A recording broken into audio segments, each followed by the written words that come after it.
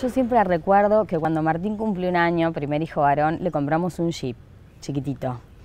Y entonces nos dijeron, no, mira, a partir de los tres años va a estar cómodo, porque no es que se manejaba control, él lo tenía que manejar. Y Martín estaba con pañales, tenía un año y dos meses, casi tres meses.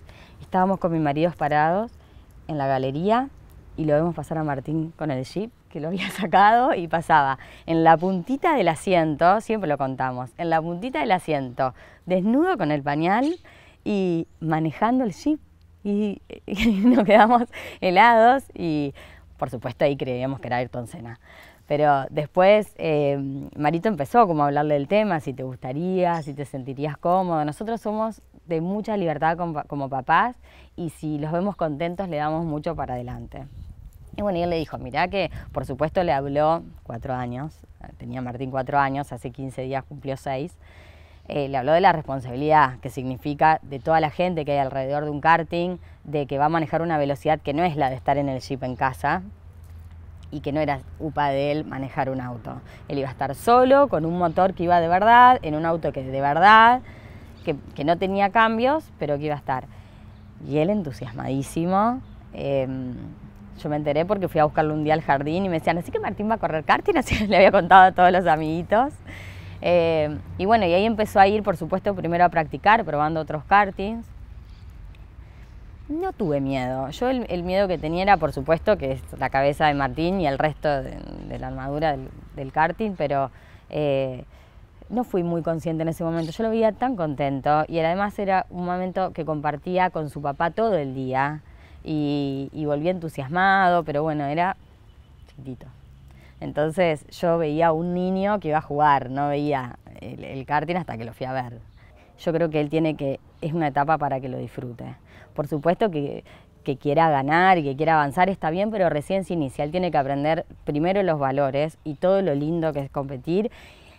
Y que en este deporte, a diferencia del fútbol, que es lo que practica, eh, él tiene él, eh, son sus límites, eh, son los valores que él tiene como compañero ahí adentro, porque él compite con él y con el resto, digamos. Entonces, em, hay, que, hay que explicarles y hay que tener mucho diálogo respecto de eso, porque ellos se suben, compiten contra el resto y es uno contra uno todo el tiempo. Entonces uno tiene que ser claro en el mensaje.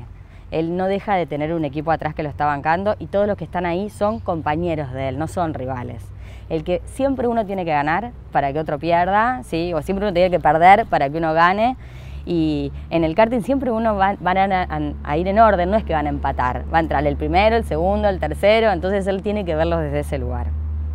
El día que, fue como más grande porque pasó por encima de un karting, em, yo estaba trabajando acá en el sanatorio, yo trabajo en el sanatorio Nasti, y, y llegué a casa y me manda un mensaje Ro Alasia, que es mamá de Santino Dominino, y me dice, Ale, eh, que, bueno, por ahí hacemos un poco de causa común respecto a nuestros maridos que ven el deporte hermoso, pero también lo ven, che, fíjate que acá tenías que doblar más abierto, más... Entonces, nosotras somos todo paz y amor con los hijos. Para nosotras hacen todo bien, son los mejores manejando.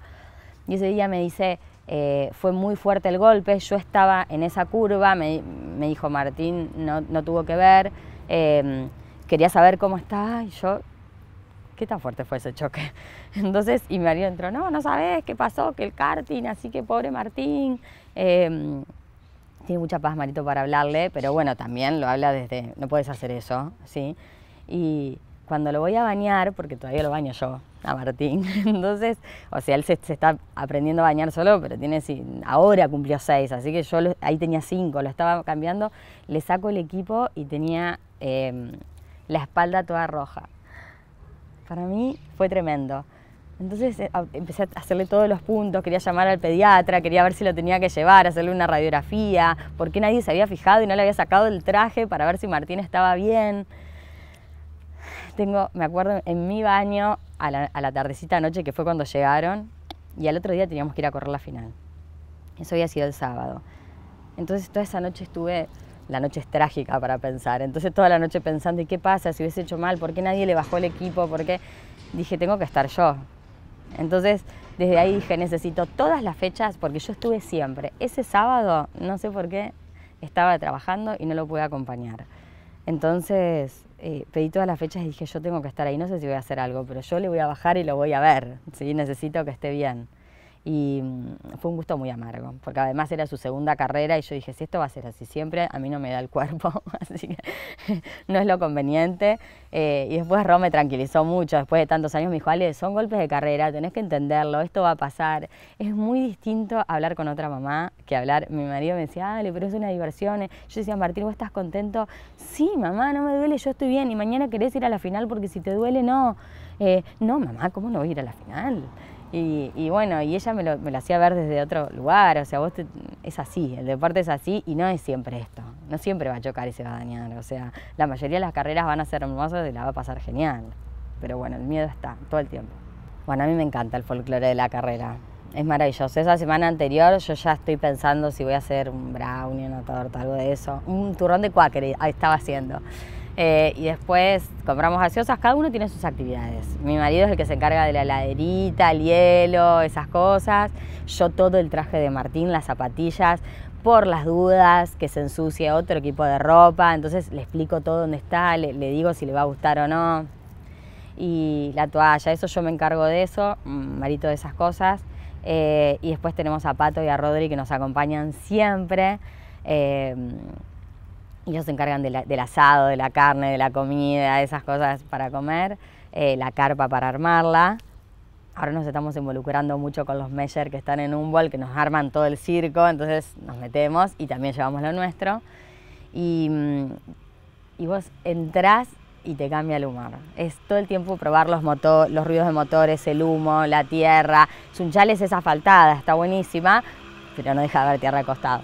Y mm, y entonces ya vas saludando las carpas a las otras mamás, los ves a todos chiquititos jugando la pelota antes de entrar, no tienen idea, vos vas y le avisás. Y los grandes, por supuesto. Em, entonces, todo es lindo. Y ese sábado prueban muchas veces y generalmente la categoría de Martín ya directamente corre la serie para ver en qué lugar quedan, porque si no el domingo es muy largo es muy intenso porque son las finales y son las series de las categorías más difíciles. Yo a él lo veo enganchado, siempre se pone en el, en, el alambrado para ver, le encanta, a mí también. y todo es solidaridad, todo es lindo, este, te cruzas con todo el mundo y comes muchos choripanes, tortas fritas, todo lo que decís durante la semana, no hay forma, o cómo voy a bajar esto durante la semana, pero ahí es, parte del folclore de la carrera, entonces es maravilloso. A mí me encanta esa parte, por eso también me gusta organizarme con el tema de las guardias para poder estar eh, en todo. Para mí el éxito es que Martín yo creo que la felicidad uno la busca, no sé si se trata solo de eso, porque es todos los días buscar la felicidad, pero que, que, la busque y, que la encuentre y que, se mueva para eso, eso es el éxito, que entienda estos valores y que, yo lo voy a bajar del karting riéndose como me pasa ahora, que yo digo, le encanta, o sea, hay que traerlo, a él le gusta, le gusta vernos a todos alrededor, todos alabándolo, Martincito, todos con los celulares sacándole fotos y bueno, él es fascinante con eso.